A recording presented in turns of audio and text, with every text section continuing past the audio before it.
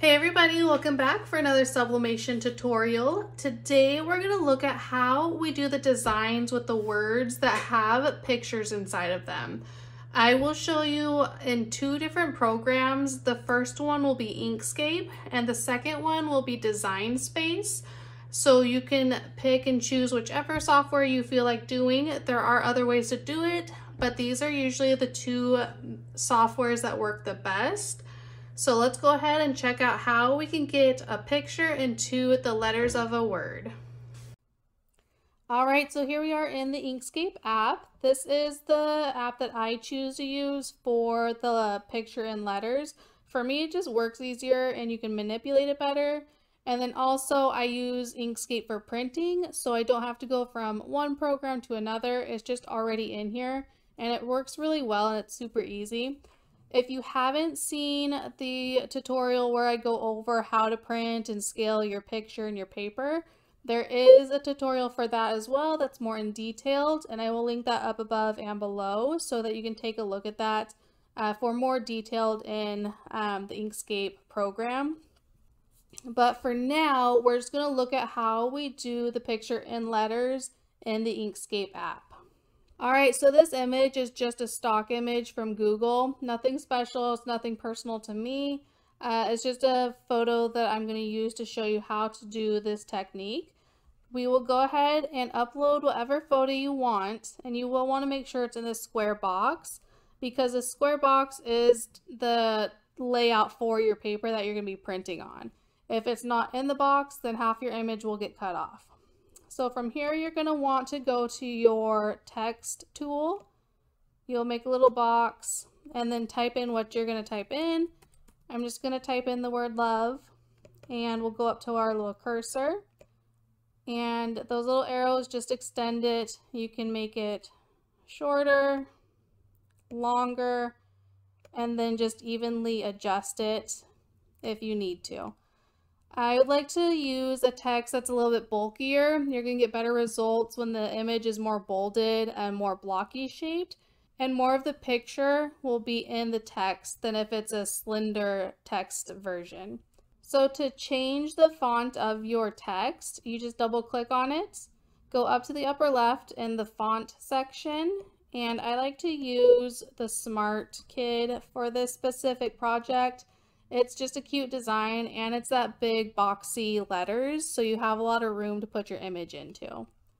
From here, you'll just go ahead and expand your size just like that.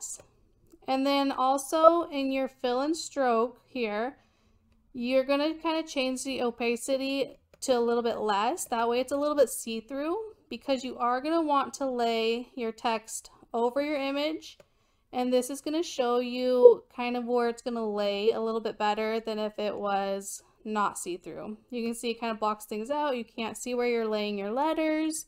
So this just kind of helps see where the background is going to be in your letters. All right, now so from here, you can kind of zoom in if you need to. A little bit too far there.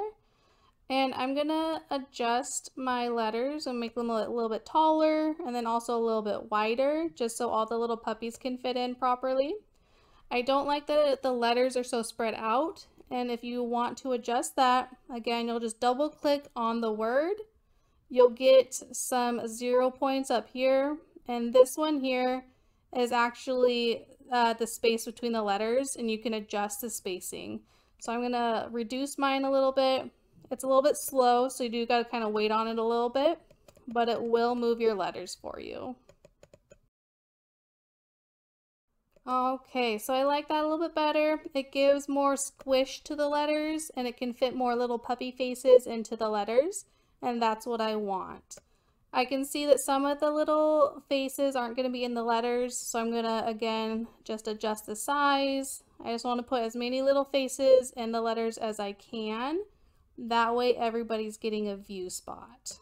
So I'll go ahead and adjust that. And you can do it however you want. I like to make sure everybody's kind of centered as much as possible and just wherever you want to put it.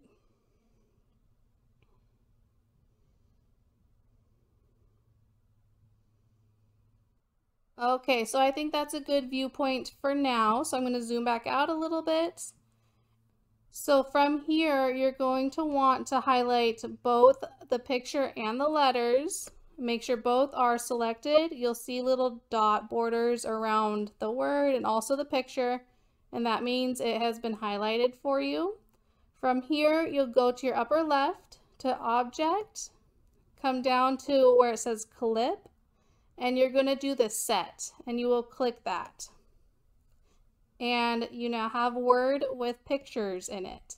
And that's that simple. That's why i do really like this. It's just it's very simple. The more times you do it the more practice you get the more comfortable you will be with it. So that is how you do your picture in text on inkscape. Very easy very simple very smooth. We'll go ahead now and see how to do it in Design Space. And from there, you guys can decide which version, what program you prefer to do it on for your projects. So here we are in the Cricut Design Space now. I have the same image. I'm going to keep everything as consistent as I can from the image to the text to the font. The only thing different will be the steps versus Inkscape and Design Space. So I'll go ahead and show you how to do that. You'll still upload your image to whatever image you want to use.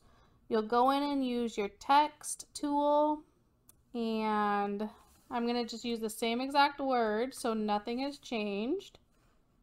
I'll go up to my font and if you haven't noticed yet, your downloaded fonts are actually going to be in the system, uh, not Cricut. For some reason, they decided to separate everything. So now you're in the system to find your downloaded fonts. And we'll do the Smart Kid. And we'll use that one. And so everything versus that's going to be the same. For some reason on the design space, it already has this here um, whited out and these ones are filled in. Not sure why it does that, but it does, and it doesn't exactly matter at this point because unlike the Inkscape where you can just kind of change the um, translucency of it, with Design Space, you will have to go up to your operation here and change it to the draw pen and that way it'll have an outline so you can see where your image is behind your letters. With your word letters in Design Space, you can also adjust the, the space of the letters. Right here, letter space, you can decrease the space between it, which again I will do just to keep it consistent again. We'll just kind of keep that uh, good right there. And then I'll just adjust it to where I think it'll fit um, the picture. With the design space, when you adjust, it kind of turns your letters. Um, it gives you one line and then another line. So you have to kind of adjust it all around to keep it in that one line. That's what I have found when I try to use design space for this technique. So when you're adjusting size, it's almost easier to just adjust the photo, make it a little bit larger, and then place it behind the letters where you want it to be at. So I think right there for now looks pretty good. I'm going to make it maybe a little bit smaller to get all the little puppy faces in there. And we'll see kind of where we're at from there. So we'll try that. Now that you have your picture in the letters where you want it to be, you'll go over here and make sure that both of these are selected. For this step, you do have to have two items selected. So you can click one of them and then you can click shift and then click on the other item and then it'll highlight both of them for you. So they're both highlighted and you can move them at the same time. Um, when we go to do this step, do note that you can only do two items at a time when you go to cut an image. You can't do three or four at a time. For some reason, it only lets you do two. So once you have these highlighted, you'll go down to the slice button here and you'll click that and then you'll wait for it to come up with a slice result right in this tab uh, box right here. So now you see there's three items, uh, slice results. The only one I care about is this one right here. This is the one that has the picture and the letters. The other two you can delete. And now you have your image in your letters. So that's how you do um, the pictures and letters with the Cricut Design Space.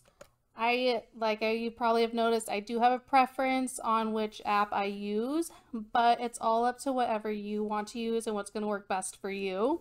I'll go ahead and do a side-by-side -side view here real quick just to show you uh, the different looks from the Inkscape versus the design space. Okay, so here I have the Inkscape on the left and the design space on the right. You can see there is a difference. Um, the Cricut design space, you could see I kind of had a little trouble trying to manipulate the letters. It just, for me, didn't work out as I would have liked with the ease of it versus the Inkscape, you could see I smoothly was able to move the letters, resize them. So again, it's just really preference on what you want. I just really like Inkscape. Um, there's no affiliation with it. I don't promote it for any other reason besides I just enjoy using it. It works well and it's easy. The one other thing I did want to point out with the difference between Inkscape and Design Space if you're going to do it in design space, you're going to eventually have to figure out how to get it moved over to a different app. If you want to print larger than a specific size, I don't know the exact size, but design space will only let you print so large. Whereas Inkscape, um, you can almost print up to whatever size you want as long as you have the right size of paper to print on. So you make it in the app and then you just print it. You don't have to fiddle with moving it to an app or any other software. So these are the two different ways that you can do the picture and letter method. Um, whatever works best for you. If you enjoyed this tutorial, if it was helpful for you, go ahead and boop that like button, subscribe to the channel, and share for others so they can get helped as well. Have a wonderful day and happy crafting.